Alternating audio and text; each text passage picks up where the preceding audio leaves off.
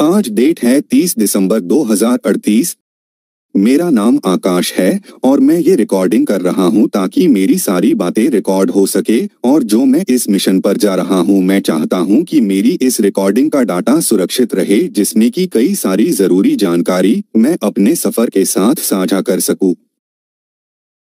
लगभग डेढ़ घंटे पहले ही मैं इस अंतरिक्ष यान में बैठकर धरती से चला हूँ लगभग डेढ़ घंटे के अंदर ही इसने मुझे अंतरिक्ष में पहुँचा दिया है। शायद 24 घंटे के अंदर में मंगल की सतह तक पहुँच जाऊँ। यहाँ स्पेस में पहुंचकर बिल्कुल अलग ही महसूस हो रहा है। यहाँ इस स्पेसशिप में मैं अकेले हूँ तो मैंने सोचा चलो एक छोटी सी रिकॉर्डिंग में अपने दोस्तों के साथ शेयर करूँ। और जो स्पेसशिप मेरा है, यह सबसे पहले है, जो कि मंगल की धरती पर कदम रखेगा और शायद मैं ऐसा पहला व्यक्ति हो सकता हूँ जो कि मंगल की सतह पर सबसे पहले उतरेगा। जब हम धरती से आसमान की ओर देखते हैं तो वह चमकते तारे कितने सुंदर लगते हैं। पर जैसे ही हम यहाँ अंतरिक्ष में आते हैं, उन तारों की चमक को और भी ज़्यादा बढ़ जाती है। मैं इस रिकॉर्डिंग में कोई टेक्निकल बातें बात कर आपको ज़्यादा बोर नहीं करना चाहूँगा। आफ्टर छह आवर्स मुझे हर बार इसकी बैटरी बचाने के लिए डिवाइस की रिकॉर्डिंग रुकनी पड़ती है, ताकि मुझे जब ज़रूरत हो मैं तभी आपसे बात करूँ और यह रिकॉर्डिंग का डाटा जिसे आपको पता होगा कि प्लेन में एक ब्लैक बॉक्स होता है।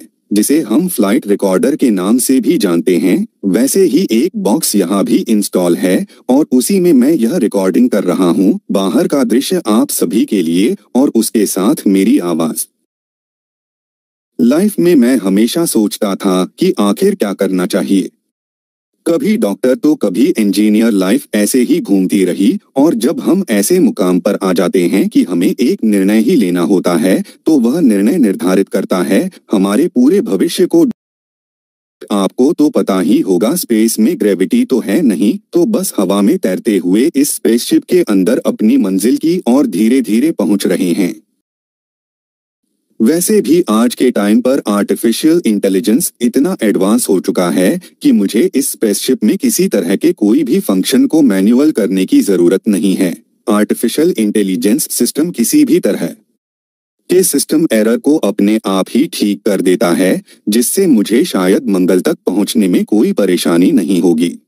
चलो बाकी रिकॉर्डिंग में बाद में आपके साथ शेयर करता हूँ। अभी पहले स्पेसशिप के कोऑर्डिनेट्स सेट कर देता हूँ और उसके बाद थोड़ा ब्रेकफास्ट करके दोबारा से आपके साथ जुड़ता हूँ।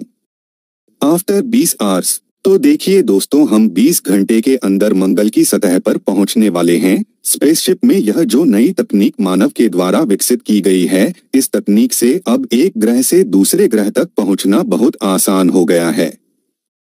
शायद मुझे मैनुअल भी खुद से चेक कर लेना चाहिए ताकि कहीं किसी तरह की कोई गड़बड़ी लैंडिंग से पहले ना हो जाए। रिकॉर्डिंग चालू रहेगी जब तक कि हम सतह तक ना पहुँच जाए। कुछ मिनट में हम मंगल की सतह को छूने वाले हैं। मैं बहुत खुश हूँ पर मैं मन से उन सभी लोगों का धन्यवाद कर रहा हूँ जिन्होंने मेरी यहाँ तक पहुँचने में पूरी सहायता करी।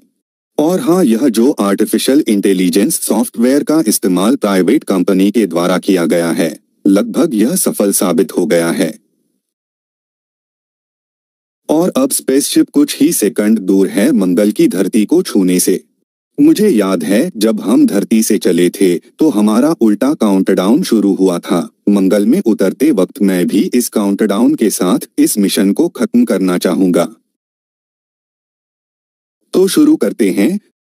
दस, नौ, आठ, सात छ पाँच चार तीन दो एक।